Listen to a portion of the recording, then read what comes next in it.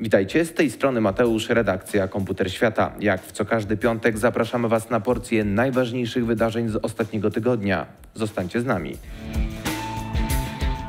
Raspberry ogłosiło nowy komputer Pi Zero, który wyceniono na zaledwie 5 dolarów, a jego procesor jest o 40% szybszy niż w oryginalnym Raspberry Pi.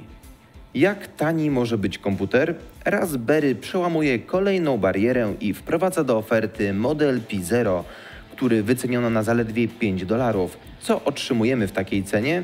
Sercem Raspberry Pi Zero jest procesor Broadcom BCM 2835, taktowany zegarem 1,1 GHz. Z informacji ujawnionych przez twórców komputera wynika, że układ ten oferuje o 40% lepszą wydajność niż pierwsze Raspberry Pi. Procesor wspomagany jest przez 512 MB pamięci operacyjnej RAM typu LPDDR2. Raspberry Pi Zero ma również slot na karty microSD, złącza mini HDMI, micro USB i 40-pinowy interfejs GPIO a całość ma wymiary 65 na 30 na 5 mm. Komputer dostępny jest od dziś w Wielkiej Brytanii. Raspberry Pi Zero pracuje w oparciu o system Raspbian i wspiera popularne aplikacje jak Scratch, Minecraft czy Sonic Pi. Z informacji przekazanych przez Raspberry wynika, że stworzono już dziesiątki tysięcy sztuk Pi Zero. Co ciekawe, komputer będzie dodawany za darmo do grudniowego wydania magazynu The Mac Pi. Trzeba przyznać, że w cenie zaledwie 5 dolarów Raspberry Pi Zero z pewnością będzie hitem. Na serwisie Indiegogo uruchomiona została kampania, której celem jest zbiórka na Xandem, system monitoringu, który nie wymaga kamer. System został zaprojektowany tak, by wyeliminować obecność kamer w domu. Po pierwsze, kamery są z reguły widoczne, a po drugie, można się do nich włamać. Xandem z kolei to system, który polega na wykrywaniu ruchu poprzez siatkę sygnałową, która obejmuje cały dom.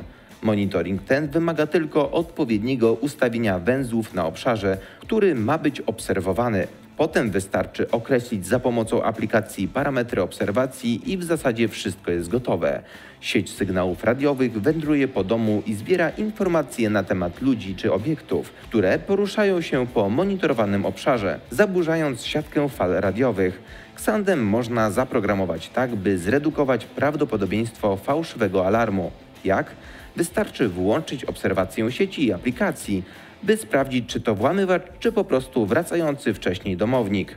Minusem tej, nie ukrywajmy, fascynującej technologii jest oczywiście cena. Za 475 dolarów można zakupić 10-węzłowy system, a za 575 dolarów 15-węzłowy. Ci, którzy wesprą Xandem wystarczająco wcześnie otrzymają darmowy dożywotni dostęp do usług w chmurze.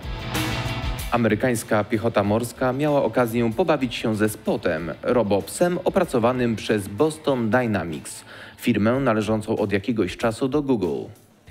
Testy Spota odbyły się w połowie września.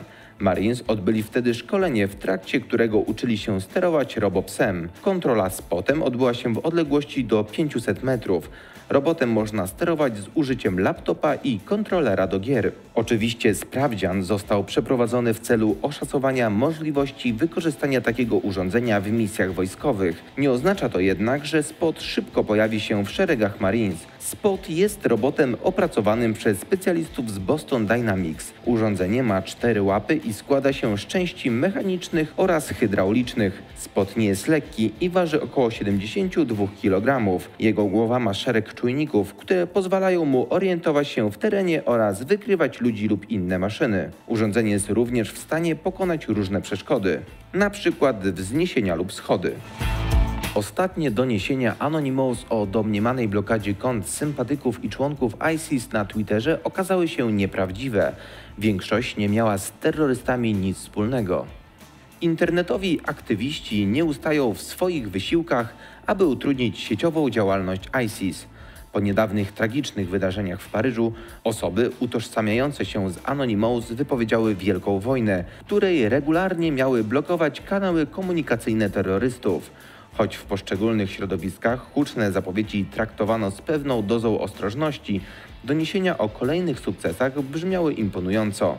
Anonymous deklarowali zamknięcie głównego forum internetowego ISIS Udało się im ponoć także zablokować tysiące kont na Twitterze, które należały do członków oraz osób powiązanych z ISIS. Proces blokowania kont nie należał do szczególnie wysublimowanych. Przy pomocy skryptu automatycznie zgłaszano administracji konta, które mogły potencjalnie naruszyć postanowienia regulaminu serwisu. Jeżeli Twitter uznał, że faktycznie doszło do nadużyć, zamykał profil, ale jak się okazuje, zdecydowana większość kont nie miała jednak z ISIS nic wspólnego. Anonymous opublikowało jakiś czas temu listę zamkniętych kont na Pastebin i dziennikarze Ars Technica postanowili przyjrzeć się im nieco bliżej. Z ich dochodzenia wynika, że w gronie zablokowanych wprawdzie da się znaleźć pojedyncze przypadki osób jawnie sympatyzujących z ISIS, ale pozostałe należą co najwyżej do osób o arabskich nazwiskach lub używających po prostu słowa ISIS, na przykład w humorystycznym kontekście. Jak donosi Daily Dot, Twitter zaczął po prostu ignorować masowe zgłoszenia dokonywane przez domniemanych członków grupy internetowych aktywistów. Dezaktywacji kont członków ISIS dokonuje po prostu we własnym zakresie po odpowiedniej weryfikacji. To już wszystkie informacje na dziś. Po więcej zapraszamy oczywiście w kolejny piątek, a Wy w tym czasie komentujcie, lajkujcie i subskrybujcie nasz kanał na YouTubie. Do zobaczenia.